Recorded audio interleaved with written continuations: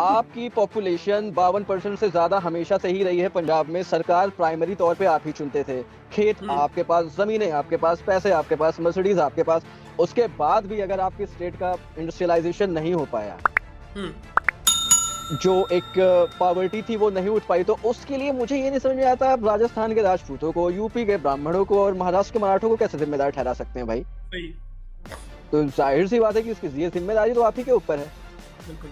हम्म, और दूसरी चीज़ देखिए कि आप गौर करें तो ये आज की तारीख में जो भी खालिस्तान मूवमेंट है हम्म। ये घूम रहा है बस कि इस एक ही पॉइंट के इर्द गिर्द घूमता है कि हमें जो हिंदू हैं ये अलग हैं हम हम्म। अलग हैं हम एक सुपीरियर कॉम है हमने इनको बचाया। तो यार तुम अपना ननकाना साहिब नहीं बचा पाए अपना पंजा साहिब नहीं बचा पाए तुम हमें बचाओगे।